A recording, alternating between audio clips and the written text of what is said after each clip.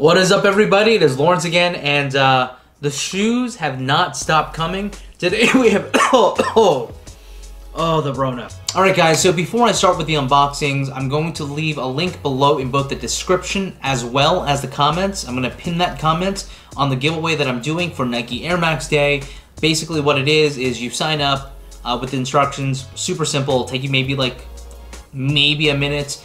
Uh, and then after that, uh, the winner's going to design a Nike ID Air Max of their choice. And uh, I'm going to order one for them, and I'm also going to order one for myself, and then I'm going to review the shoe on this channel. So it should be super fun. Definitely hit the, the, comments below if you're interested. So today we actually have a double Yeezy unboxing. Uh, the first pair is going to be the 350, and then we have the 380. So it's my first pair of 380s, and this is going to be done in this mist colorway. Um, I'm just gonna dive right into it. Everyone knows what the 350 looks like. This is gonna be the Cinder version. I haven't looked at this yet. Uh, this is directly from the raffle draw by Adidas.com. Uh, same box as all every single other Yeezy, so nothing major here. Uh, but this is gonna be my first impression of it. The um, my initial kind of thought about the Yeezy 350 Cinder is that it looked like a lot of the other ones. What did kind of make me a little more interested is the fact that uh, part of it was was gum sole, uh, or at least like a really dark gum. So we'll see what it looks like. And in terms of colors, I've heard a lot of random different things about the colors, and uh, I'm not sure if they're uh, it's a black shoe or a brown shoe or whatever. Just because I feel like the opinion changes pretty drastically, and apparently it changes in a different light. Anyway, so here it is, the 350 V2 done in Cinder. That was not what I expected. Um, and there it is, guys. You can see that in the box. I'm gonna pull this out real quick. All right, the Cinder colorway. I actually, I don't think it looks black at all. Um, I heard that there were brown tones in it, but I don't really see it. It's pretty much dark gray. Um, here's a here's a closer look of them. Yeah, they pretty much look like a dark gray to me, which I, I like. Um, I don't mind this at all. I've actually been wanting the black pair for a while, but resale's super high.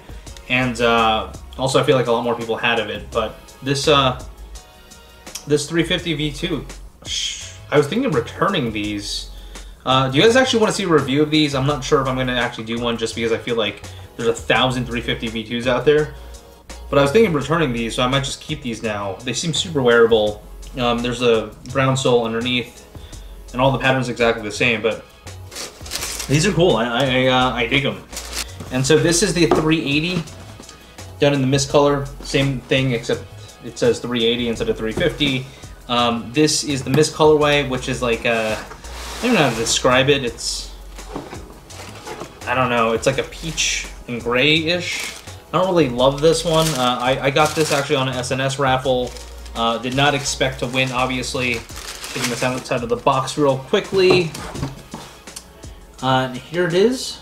And so here it is, the 380 Mist. I don't know how I feel about these. Uh, uh, I'm sure they'll look better than the Blarf version uh, that's coming out in the near future. But this is really weird. It's got holes everywhere. The Prime Knit the prime that's a little bit different, so, so where the stripes are on both the medial as well as the lateral, sides, they're almost like a little plasticky, which is kind of interesting. Um, I haven't seen this done by Adidas yet. The uh, the Flyknit done by uh, Nike on the Infinity React feels very similar to this actually. So, with the plasticky kind of knit on top. It's a really interesting silhouette. I don't know how I feel about it. We'll see how it goes, but I've heard these are pretty comfortable. Um, the sole looks a little bit different than the 350. So it looks a little like that, but I'd say it's still pretty much the same setup with the cage boost and everything else. Uh, it's a little squishier here. We'll see what these feel like. Um, but uh, I don't know. Are, are, these are these pretty guys? I don't know. Leave them in the comments below if you, what you think about the 380. Uh, do you think these will take off the same way the 350s have taken off once they're more much more GR paired? I'm not sure. Uh, but those are the two uh, new Yeezys that were out recently. I'm probably done with Yeezys for a while. I'm kind of sick of the. Uh, I'm honestly just kind of sick of it. This 380 definitely does not make me that excited, and the Quantums look a little too weird to, to actually wear on a daily basis. I still want to see a pair in real life and probably own a pair, but like I don't know if I would actually wear them.